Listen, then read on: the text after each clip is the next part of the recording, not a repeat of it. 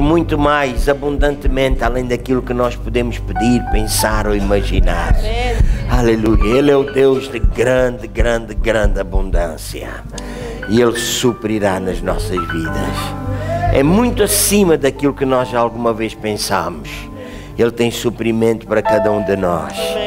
Aleluia. Não há razão, escuta bem, não há razão para que o mundo possa viver em pobreza. Não há razão para que o mundo viva em miséria, em tragédia, em sufoco. Não há razão. Quando Deus criou o mundo, Deus criou o mundo com capacidade para suprir para todas as necessidades. O mundo tem capacidade para isso. Nós ficamos a pensar, as pessoas ficam a pensar que o mundo está super lutado. oh, meus irmãos, quando nós andamos, quando nós viajamos, o mundo ainda está despovoado. Escute bem, a terra está despovoada. Há tanto espaço nesta terra para ser povoado. Tanto, tanto, tanto. Há tanta coisa, tanto lugar nesta terra ainda para ser descoberto. E esta terra ainda tem tanta coisa boa para ser extraído dela, para trazer provisão à humanidade. Somente nós temos que buscar a Deus, estar na presença de Deus, crer em Deus, confiar em Deus, esperar em Deus e receber de Deus aquilo que Ele tem preparado para nós. Nesta manhã eu gostava de alertar a igreja, desafiar a igreja a crer num Deus que supre todas as nossas necessidades. Ele é um Deus grande, Ele é um Deus glorioso. Olha, Ele é um Deus que tem muito mais para nos dar, não apenas para suprir ele é o Deus que supre e logo mais Ele derrama toda a sua abundância sobre as nossas vidas. Nós estamos a adorar a Deus dizendo: Tu suprirás, tu suprirás, tu suprirás. Escute, Ele já supriu em Cristo Jesus, Ele já supriu para todas as nossas necessidades. Nós já fomos abençoados. Aquele que nem mesmo a seu próprio filho poupou, antes o entregou por todos nós. Como é que não nos dará também com Ele? Todas as coisas, todas as coisas, todas, todas, todas as coisas. Ouça bem, é todas as coisas. Não está a falar da bênção espiritual, não está a falar de dons espirituais, está a falar de todas as coisas. Fala de carros, fala de roupas, fala de casas, fala de sapatos, fala de todas as coisas. Diga comigo coisas, coisas, coisas. Com Jesus Ele nos dá todas as coisas. Aleluia. Aleluia. Nesta manhã nós temos todos os bens espirituais. Nós já fomos abençoados com todos os bens espirituais. Mas também já fomos abençoados com todas as coisas. Não há motivo, ouça bem, não há motivo para que o mundo viva em pobreza, para que o mundo viva em agonia. Milhões e milhões de pessoas no dia que se chama hoje morrerão de fome. Neste momento há milhões de pessoas a morrer de fome.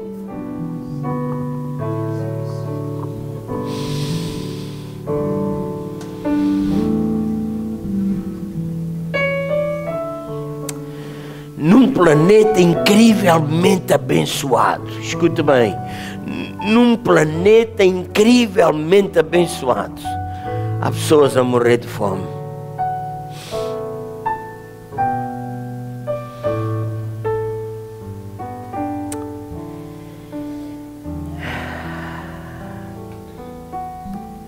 Há mães frustradas no dia de hoje por trazerem à luz as suas crianças, os seus bebés,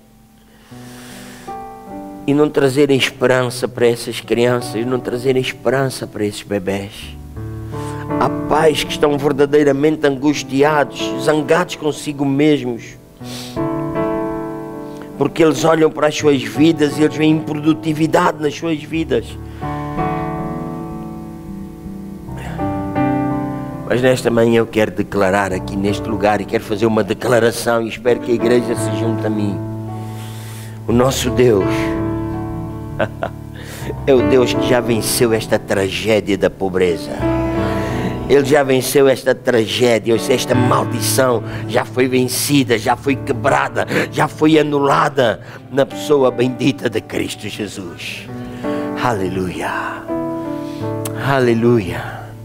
E nós bem podemos glorificar o seu nome porque agora nós estamos em Cristo.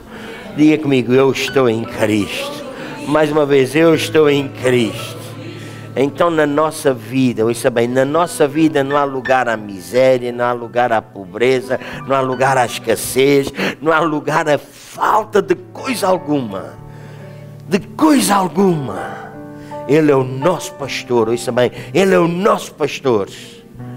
E porque Ele é o nosso pastor, nós temos abastança, nós temos fartura de todas as coisas. E então é nossa missão chegarmos até aqueles que não têm esta fartura e esta abastança e apresentar a, a, a eles aquele que é o Senhor de todas as coisas. Vamos chegar até eles, vamos levar este Deus grandioso, este Deus glorioso, este Deus de toda a abastança e levá-lo até estas pessoas. Há instruções que Ele nos dá. Escute bem, há instruções que Ele nos dá para que toda a sua abastança venha até a nossa vida. Ele dá instruções muito claras na sua palavra.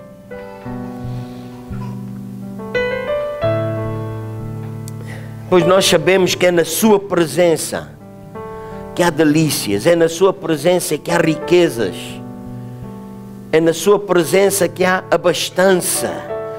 É na sua presença que a debilidade, a pobreza, a miséria, a fraqueza humana desaparecem. É na sua presença. E Ele dá-nos instruções. Ele diz para nós trazermos a sua presença. De acordo com a prosperidade que Ele nos dá, Ele diz para nós trazermos ao lugar que Ele nos indica aquilo que Ele determina. No livro de Deuteronômio, capítulo 12, versículo 11, diz para nós trazermos ao lugar que Ele nos indica os nossos sacrifícios, as nossas ofertas, os nossos dízimos, as nossas primícias. Ouça, e diz Deus: livra-te, livra-te de trazeres a qualquer outro lugar aquilo que a mim pertence. Livra-te. Vamos abrir, vamos abrir nossa Bíblia. Deuteronômio capítulo 12.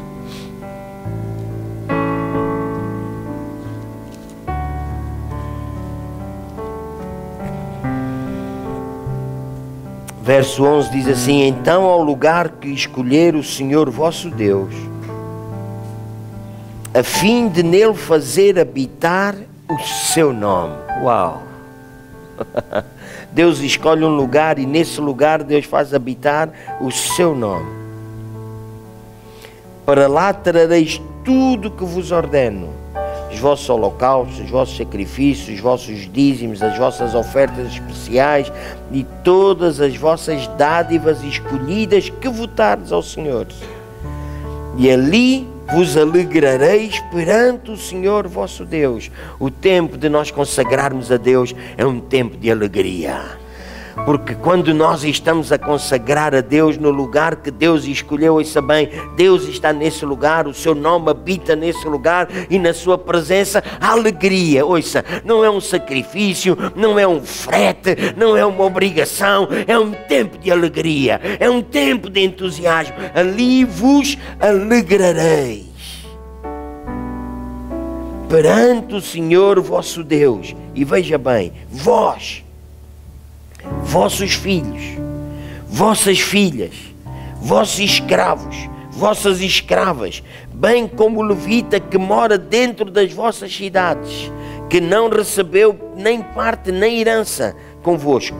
E agora preste bem, guarda-te de ofereceres os teus holocaustos em todo o lugar que vires. Quantas pessoas há que deixam de consagrar a Deus e aquilo que devia ser consagrado a Deus é consagrado noutros lugares.